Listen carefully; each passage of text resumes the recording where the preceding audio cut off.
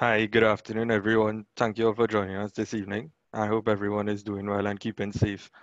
On behalf of the AAPG Young Professionals Trinidad and Tobago, I'd just like to welcome you to our talk this evening, the Mud Engineers Experience. This evening, we have with us Dominic Lord. Dominic is an independent drilling fluids contractor with six years of oil and gas experience. Dominic specializes in drilling fluids, but also has experience in well site supervision for drilling and production working for both operator and contractor.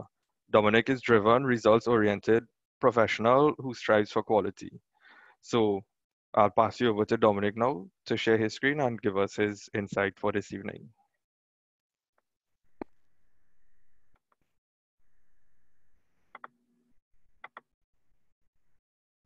Hello, good day. Yes, we can hear you. Everyone, uh, good evening all. Uh, today I'll be doing a short presentation on the drilling fluids experience, well, mud engineering experience. My name is Dominic Lord.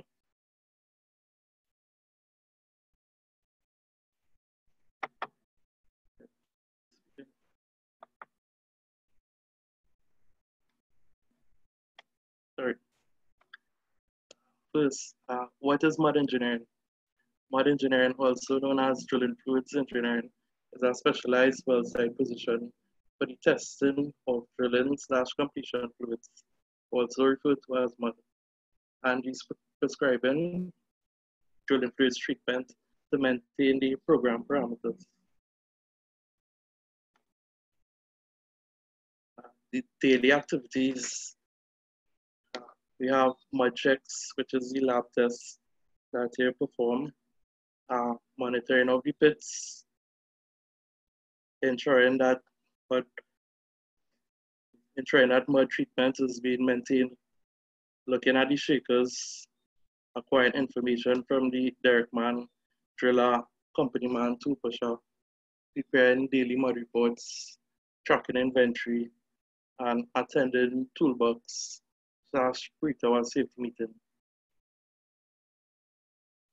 with the checks, uh, basically we follow the API uh, RP 13B slash 1, 13B slash 2 procedures as the standard testing procedures for water-based and oil-based drilling fluids. Uh, when I say monitoring the pits, it doesn't necessarily mean that you would stand by the pits for the entire day. That once in a while, probably every couple hours, you go outside, you take a look around, you monitor the fluid level, ensuring the mud treatment is being maintained. Uh, same thing by performing the tests, then you could verify that your parameters are in check and also tracking of inventory. Uh, you would know that you have stuff being added. Looking at the shakers, again, just like my multi pits, you won't be there whole day you'll pass through once in a while, check the cotton size, check the type of cuttings that are coming across, the feel of the cuttings, which will give you indication of how your mud is performing.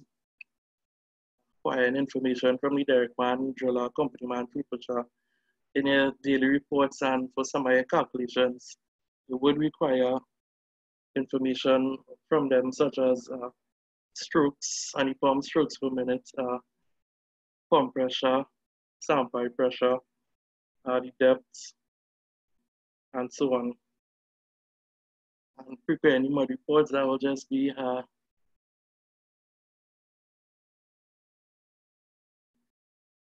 putting together the information from the test in the formats which the company or the operator would desire.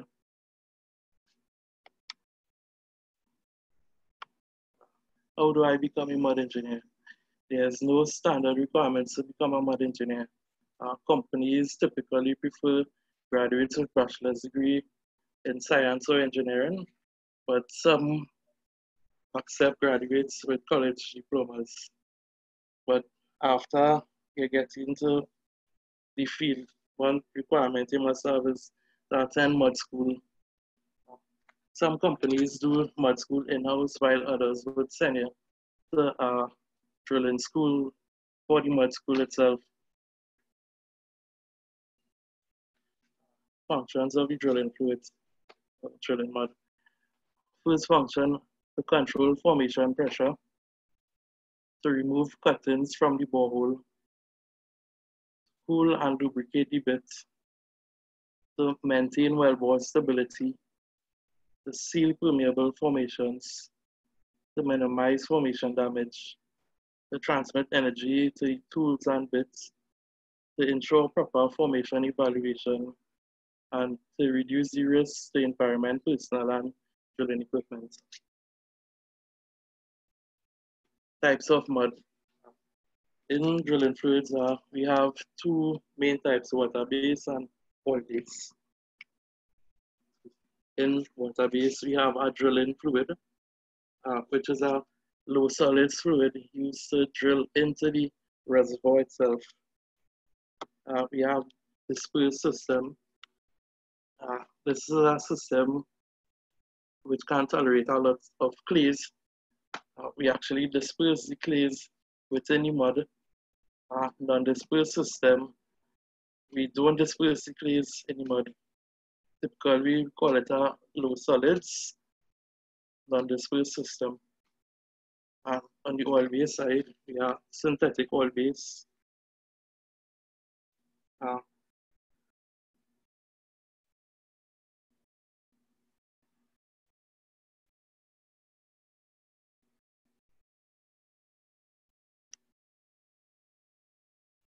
you hear me?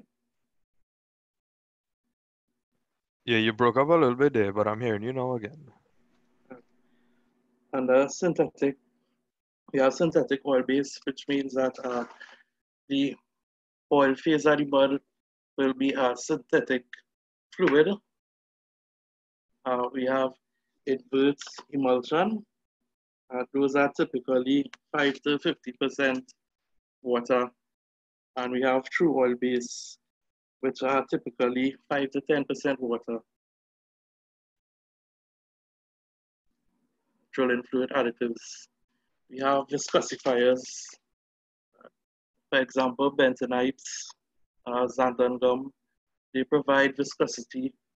Bentonite also provides gel strength to the fluid, pH control. Uh, we have uh, caustic.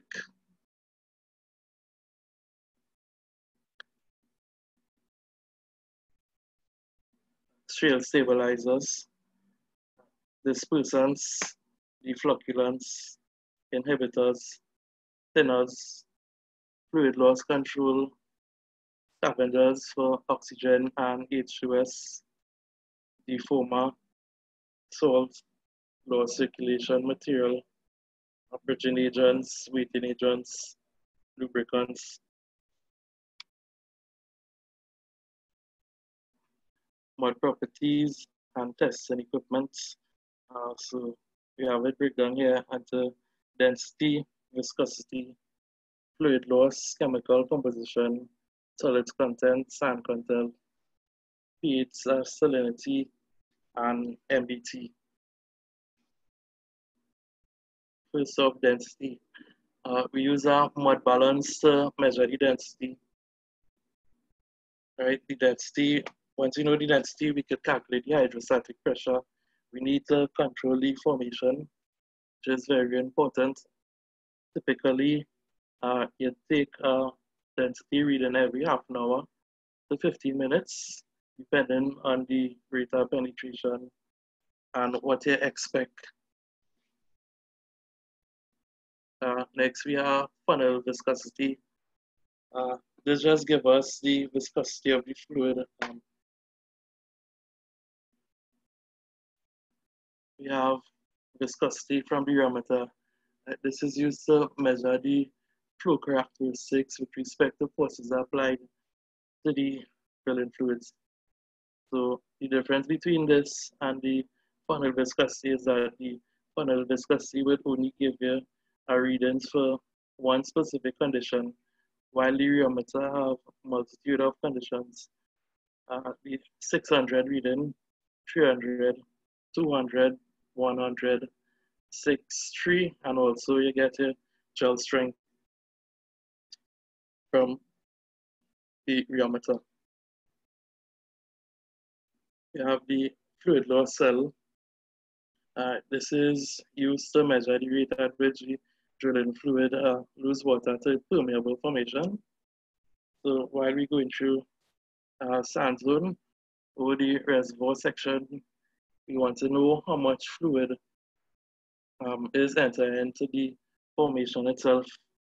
Based on that, we could know what to look for in the log depending on the resistivity. if It is shallow, deep, uh, chemical composition. Uh, we have chloride ion content, alkalinity and lime, total hardness. All these tests are titration tests. Um, we follow the guidelines from the API 13B1 for water-based fluids.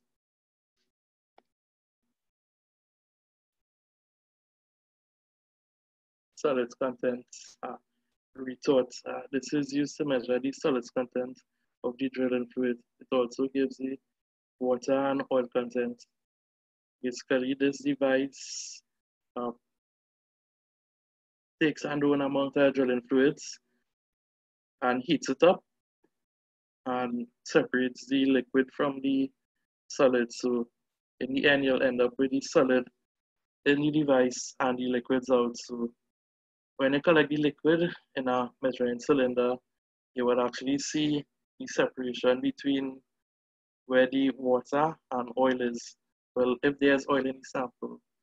So given the volume of water, then we can back calculate the actual solids content in the mud.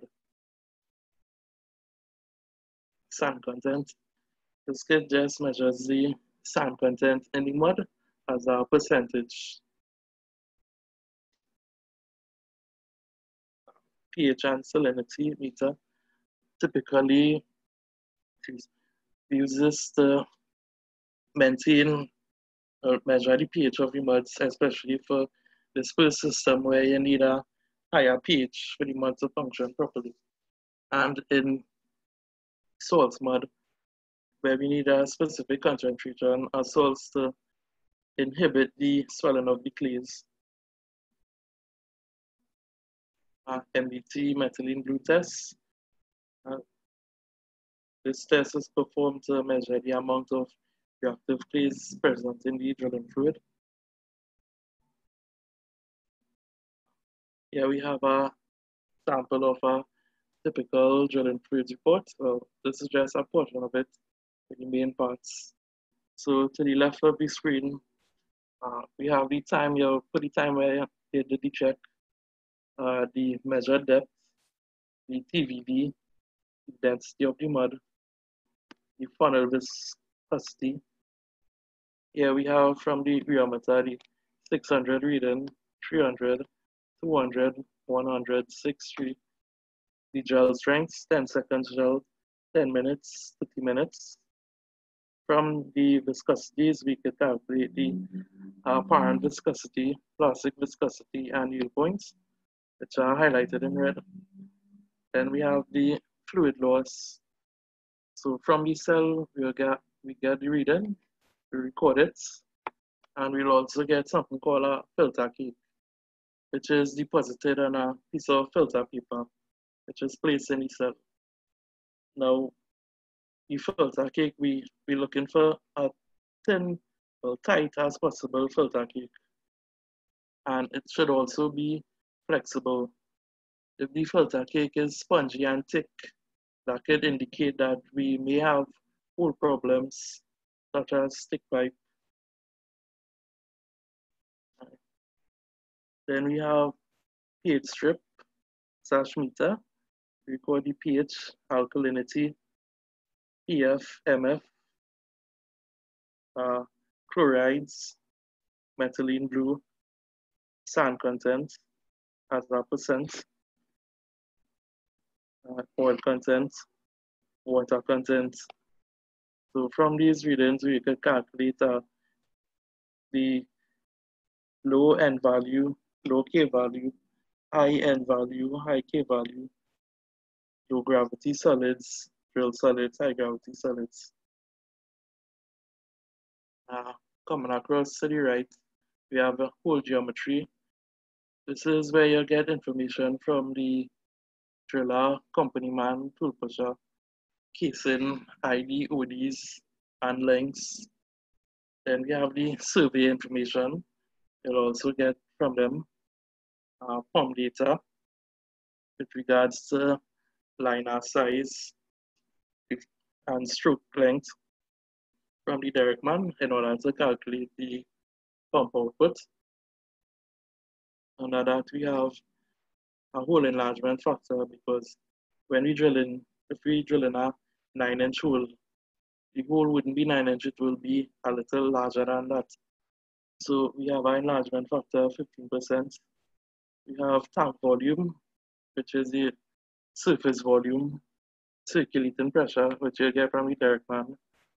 The actual hole size, which would be the corrected, accounting for the 15% enlargement, string capacity, string displacements, casing annular volume, open hole volume, total volume, bottoms up, surface the bit. So all what you're seeing in red is what we actually calculate from the information we gathered. Uh, it's important to know our bottoms up in case of anything happen. Um, ROP increase, uh, we know the bottoms up so we can check for, for formation coming across, if it's sand, if it's clay, and total circulation time. Right, coming across to the right again, we have bit data. So all this information would be collected from the driller or tool pusher and which is required for to perform some calculations like nozzle velocity, bit hydraulic horsepower, the jet impact force. Right. Under that, we have some more information for the flow line cleaners, also known as the shale shakers, which will just have the size of the screens and the runtime. Under that, we have solids removal equipment, centrifuge, desander, desilter, the weight of the inflow, weight of the outflow, so we can calculate the efficiency of the equipment itself and hours run. And underneath that, we have an X table, fluid accounting. This is uh, especially important for oil-based muds because we need to know how much volume we have at the end of the day and we need to know where we lose volume if we lose at all because of the environmental impact of the oil-based muds.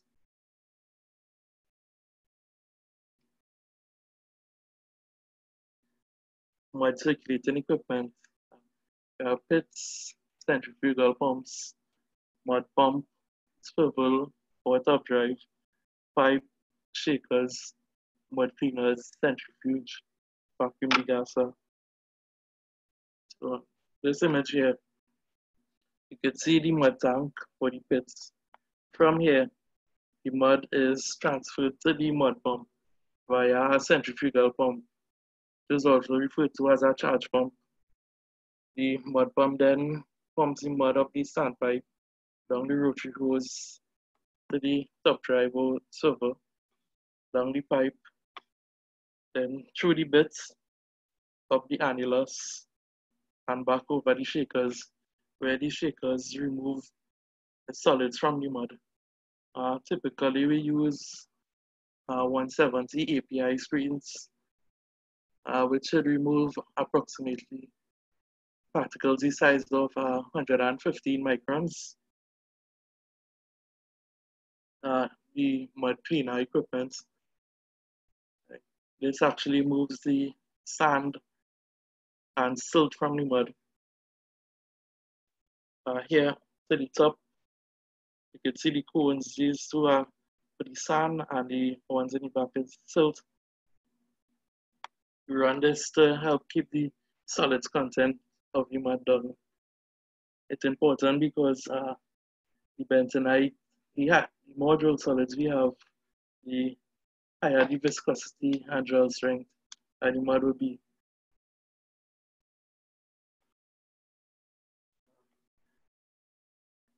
Mud feeding equipment, uh, centrifuge. All right, the centrifuge is used to remove the smaller particles in the mud. Typically defines the clays, uh, which are about four microns. When we use the centrifuge, we also lose barite and other additives we put into the mud. So we have something called uh, the Canton centrifuge uh, or recovery, where we recover some of the barite or the bathing agent which would be lost otherwise. What's it we vacuum degasser. Right. This device is used to remove gas from the drilling fluids. Uh, say we drill in and we end up in a well-controlled situation, we receiving gas cut mud. The mud that's coming up to the surface would have gas entrapped in it, which would give it a lighter density. So this is used to remove the gas from the mud. And the vessel is under vacuum, so when the fluid enters with the lower pressure, the gas will quickly diffuse from the mud into the void.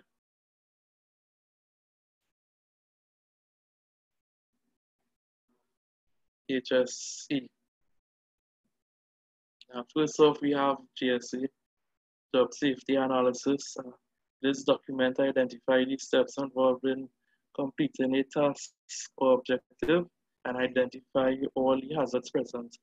Recommendations are then made to reduce slash eliminate risks to personnel, environment, and equipment.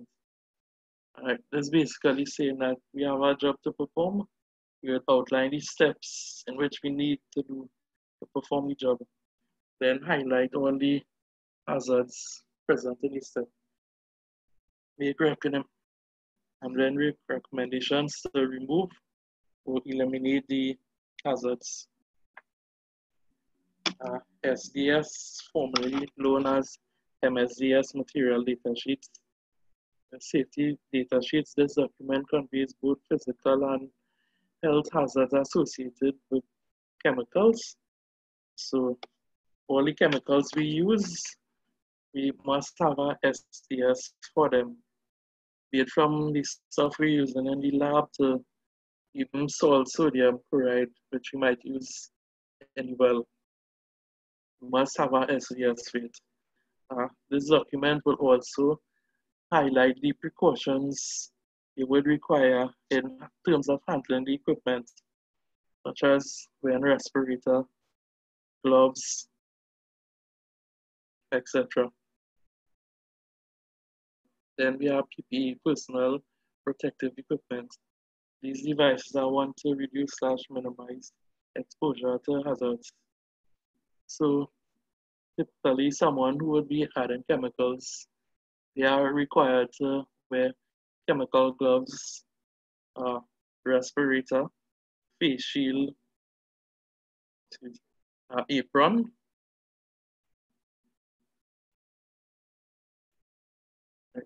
to reduce the contact between the chemicals to their person.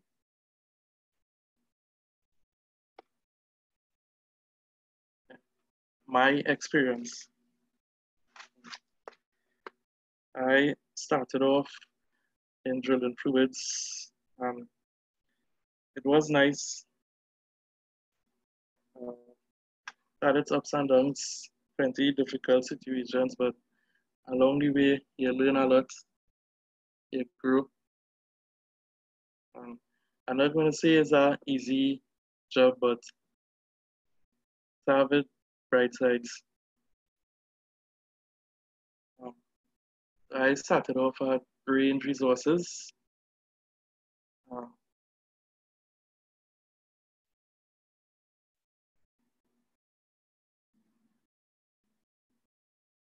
you hear me? You broke up there a little bit, but I can hear you now. I, I started off at Range Resources, uh, doing drilling fluids. Uh, there, Trained under uh, Canadian experts. Um, then I went on to oil services. Uh, only did uh, land jobs, and I went to Suriname on land. Uh, the experience was nice.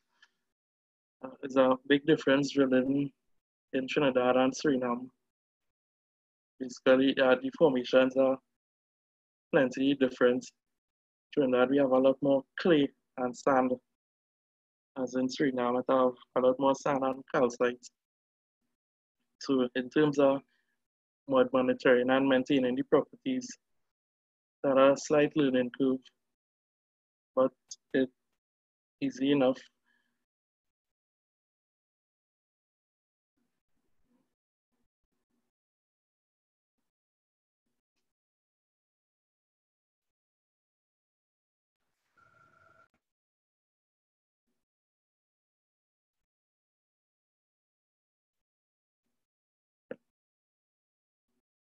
thank you.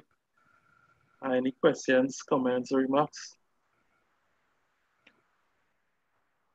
Uh, all right, thanks a lot, Dominic. So if you all have any questions, you could put it in the Q&A tab.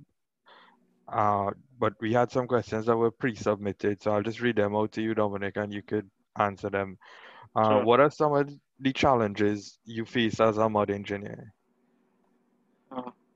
Some of the challenges I faced as a mud engineer was uh, getting accustomed to the uh, to the work requirements because uh, sometimes uh, we might be in a well-controlled situation and you have certain things to do, reports to do, while managing the additions of the barite or viscosify or building new mud for the system.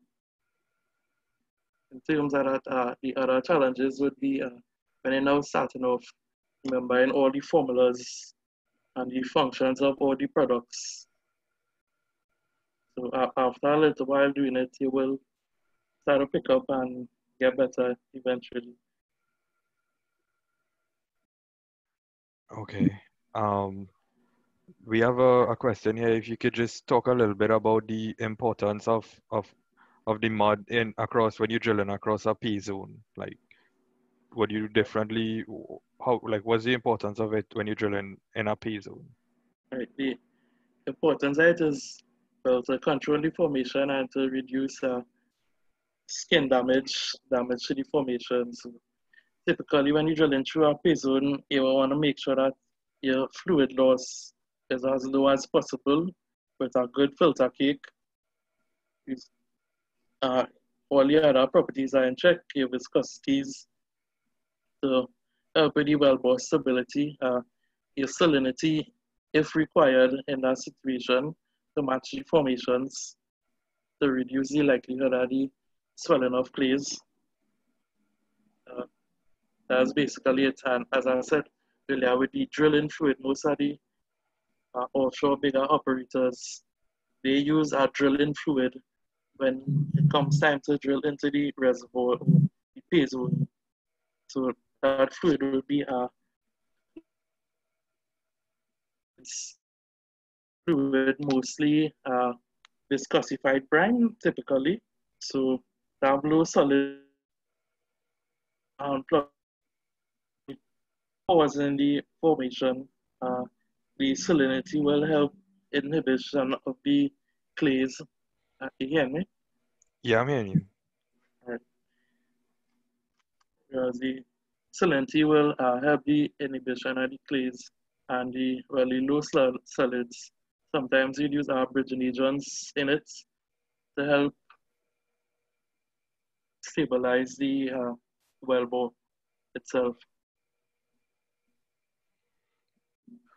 Okay, so we had a lot of questions basically around, you know, the the educational requirements, and I think you touched on that and you spoke a lot about it. So the other question we have here is how and how over time do you think the your job as a mud engineer has changed, and how do you see it changing in the future with the current changes that we're seeing in the energy industry? over the time, uh, I, I see being uh, more aware of your responsibility because as a mud engineer and rig, ultimately, everything more or less in your hands, your feet. But the mud is the primary control uh, pretty well in terms of everything. Just being aware of that responsibility. Um, in terms of changes with the future, I don't really see it having such a decline in the, uh, how to say,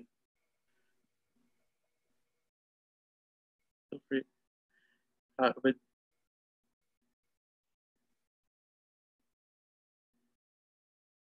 within the demand for work itself because the petroleum, some people say the petroleum industry dying, but then I say, where we getting material to make all the plastics, all the polymers, carbon fiber, all the new age stuff we use in our materials, most of it comes from the petroleum. So I don't see um, the demand dropping, but one thing I noticed have dropped is uh, the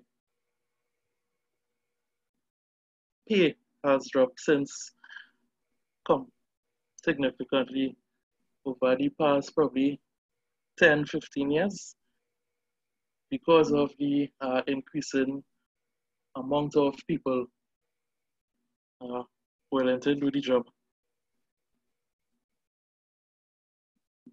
Okay. Okay, I hear you.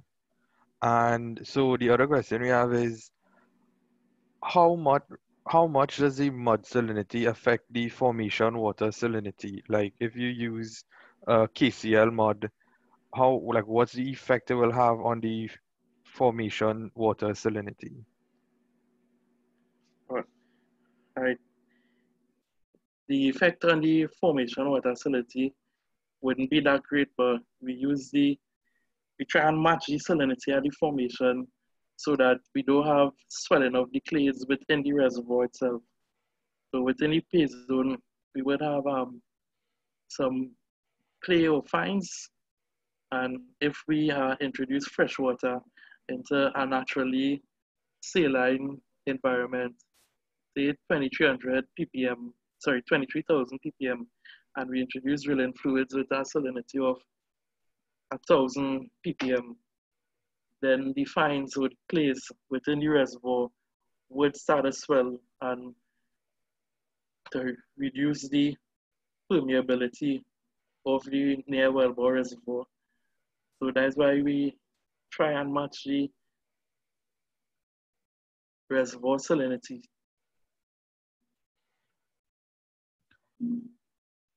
Okay, and this is a two-part question. So the person said, thanks for the info informative presentation.